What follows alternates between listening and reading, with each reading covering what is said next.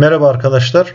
Bu videoda sizlere asenkron motorlara yol vermede kullanılan soft starterlar hakkında bilgi vereceğim. Arkadaşlar soft starterlar e, AC asenkron motorların kalkış anında çekmiş oldukları yüksek akıma karşı korumada ve ani duruşlarda motorları korumada kullanılan bir e, motor kontrol ünitesidir. Soft starterların yapısında sigorta, kontaktör, triyak devresi ve bu triyakların e, tetiklemesini sağlayan tetikleme devresi, termik röle, bypass kontaktörleri,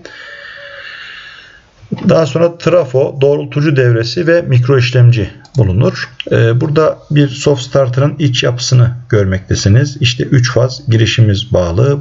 Daha sonra fazlardan sonra sigortamız, kontaktörümüz, termiğimiz, triyak devremiz ve bypass kontaktörlerimiz var arkadaşlar.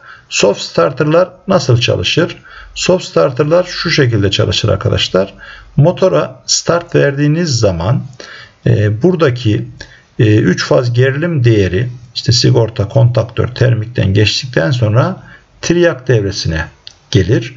Triyak devresi tetikleme ile buradaki gerilim değerini sıfırdan nominal gerilim değerine kadar ne yapar arkadaşlar?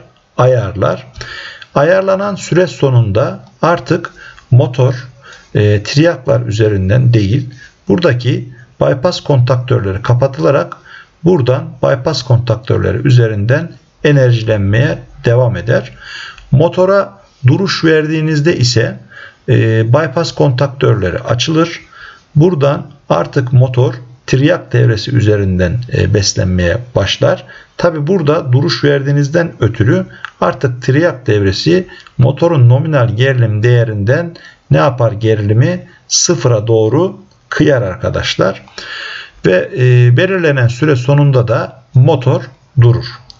Burada devreye almadaki ilk kısmı arkadaşlar yani nominal gerilim değerine kadar olan ki süreye hızlanma süresi denir. Motora stop verildiği zamanki durmaya ise yavaşlama süresi denir arkadaşlar. Burada da bunu görmektesiniz. Yani şöyle düşünün. Sizin motorunuz 380 volt gerilimle çalışıyor ve 1500 RPM. Ee, şimdi siz motora start verdiniz. Dediniz ki 1 saniye içerisinde nominal gerilim değerine ulaş. 1 saniyede bu triyak devresi motorun gerilimini sıfırdan ne yapıyor? 380 volta çıkartıyor. Bu voltaja geldiğinde motor artık 1500 RPM'de ne yapıyor? Dönüyor arkadaşlar. Daha sonra stop verdiniz. Stop verdiğiniz zaman ne demiştik? Bypass kontaktörleri açıyor. Triyak üzerinden motor besleniyor demiştik. Bu sefte yavaşlama süresinde diyelim ki 1 saniye girdiniz. 1 saniye içerisinde triyak devresi buradaki nominal voltaj değerini ne yapıyor?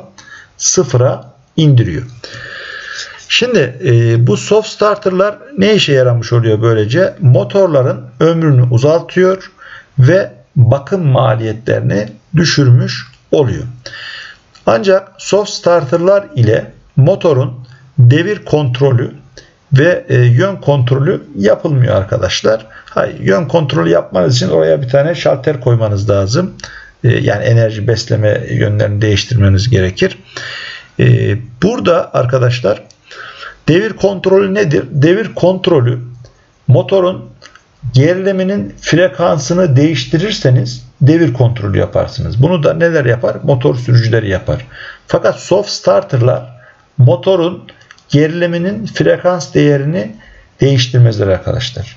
Sadece o gerilimi sıfırdan nominal gerilim seviyesine kadar artırır ya da azaltır. Şimdi e,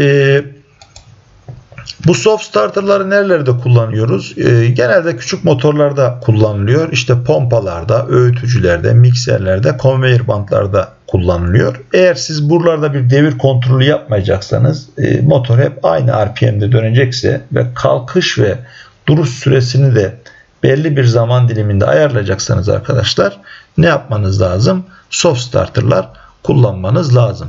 Soft starterlar arkadaşlar e, motor sürücülere göre ekonomiktirler. Bu da tercih edilmelerine sebep oluyor. Hani normalde yıldız üçgen e, yol verme kullanılırdı motorlarda. Fakat onlarda onda da işte kontaktörlerin ömrü zamanla e, azalıyor. Bazı sıkıntılar meydana geliyor. Ayrıca yıldız üçgende de ilk başta ani bir yüksek akım görebilirsiniz bu arada. Bu gibi durumların önüne geçmiş oluyorsunuz arkadaşlar. Soft starterlar ile anlatacaklarım bu kadar. Videoyu beğenip kanala abone olarak bizlere destek olabilirsiniz arkadaşlar. Herkese iyi çalışmalar dilerim.